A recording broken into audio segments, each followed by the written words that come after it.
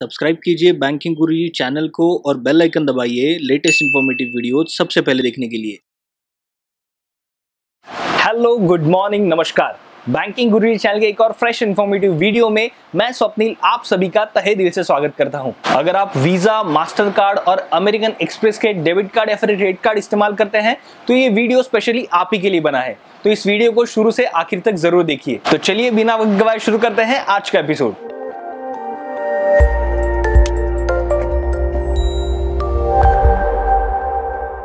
भारतीय reserve bank of India के guidelines के अंतर्गत global payment company Visa Mastercard और अमेरिकन एक्सप्रेस अब अपने सर्वर्स इंडिया में सेटअप करने जा रहे हैं, जिससे कि इंडियन कार्ड होल्डर्स का डेटा जो है वो इंडिया में ही सुरक्षित रहेगा। साथ ही इन कंपनियों को भारत में होने वाले इनकम के ऊपर पंद्रह फ़ीसदी टैक्स भी पे करना होगा। एक स्थायी कंपनी का दर्जा प्राप्त न होने की वजह से इन सारी कंपनीज़ को अब तक भारत में टैक्स पेमेंट के लिए छूट दी जाती थी, क्योंकि ये सारी कंपनियाँ भारत में सिंगापुर ऑफ़िस से ऑपरेट की जाती थी, जबकि इनका डेटा अमेरिका और आयरलैंड में स्टोर किया जाता था। टैक्स एक्सपर्ट दिलीप लखानी जी का ये मानना है कि विभिन्न देशों के साथ किए गए समझौते को मद्देनजर रखते हुए, जिस सर्वर पर डेटा या सॉफ्टवेयर स्टोर किया जाता है और जिसके ज़रिए इस डेली रूटीन को मॉनिटर किया जाता है, उस सर्वर को एक ही जगह पे रखना अनिवार्य है। और जिस जगह पर वो सर्वर रखा जाता है, उसे बिज़नेस प्लेस या फिर कमर्शियल प्लेस कहते हैं। फिर चाहे वो सर्वर रेंट बेसिस पे लिया हो या फिर ओनरशिप पे लिया हो। और जब उस जगह को कमर्शियल प्लेस या फिर बिज़नेस प्लेस कहा जाता है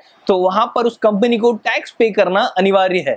भारत में स्थापित कंपनियों से कॉर्पोरेट प्रॉफिट के ऊपर 30 फ़ीसदी टैक्स वसूला जाता है। हालाँकि global payment company Mastercard Visa और अमेरिकन एक्सप्रेस से सिर्फ़ 15 फ़ीसदी टैक्स वसूला जाएगा। ऐसा इसलिए क्योंकि भारत का सिंगापुर और अन्य देशों के साथ टैक्स पेमेंट के ऊपर समझौता हुआ है और ये कंपनी अभी सिंगापुर से ऑपरेट होती है। अब इन सबके बीच ऐसी खबर भी एक निकल के आ रही है कि इन कंपनीज़ को जो 15 फ़ीसदी टैक्स पेमेंट करना है, उसका बोझ ये कंपनीज़ कार्ड होल्डर्स के ऊपर डाल सकती है। मतलब इन कंपनीज़ के डेबिट कार्ड या फिर क्रेडिट कार्ड होल्डर से ये फ़ीस वसूली जाएगी, जिससे वो टैक्स पेमेंट कर पाए। रिज़र्व बैंक ऑफ़ इंडिया ने सारी कंपनीज़ को अप्रैल 2018 में फरमान दिया था कि 15 अक्टूबर 2018 तक वीज़ा मास्टर कार्ड और अमेरिकन एक्सप्रेस ये तीनों कंपनियाँ भारत में डेटा सुरक्षित करने का इंतज़ाम कर ली। मगर तय तारीख से पहले इनमें से कोई भी कंपनीज़ अपना वादा पूरा नहीं कर पाए। एडवाइजरी फर्म एमजीपी के पार्टनर मिस्टर जितेंद्र भंडारी जी ने बताया कि भारत में सर्वर लगाने से इन सारे पेमेंट कंपनीज़ के टैक्स पेमेंट में बढ़ोतरी होगी। इससे बचने के लिए कई सारी कंपनियाँ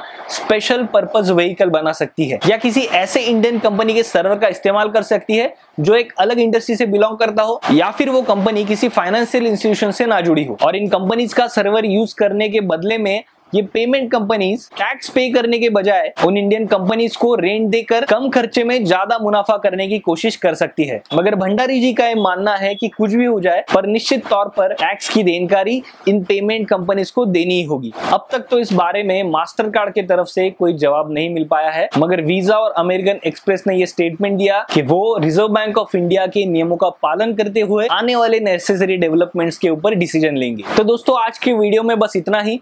अगर आपको ये वीडियो अच्छा लगा हो तो प्लीज़ इस वीडियो को लाइक कर दीजिए और अपने दोस्तों के साथ व्हाट्सअप ट्विटर फेसबुक जहाँ पर भी आप चाहे इस वीडियो को शेयर कर सकते हैं। अगर आप हमारे चैनल पर नए हैं तो नीचे दिए हुए सब्सक्राइब बटन को दबा दीजिए और बाजू में बेल आइकन दबाना बिल्कुल भी मत भूलिएगा, क्योंकि मैं हर हफ़्ते ऐसे ही नए नए और इन्फॉर्मेटिव वीडियो आपके लिए लेकर आता रहता हूँ। तब तक के लिए जय हिंद, वंदे मातरम।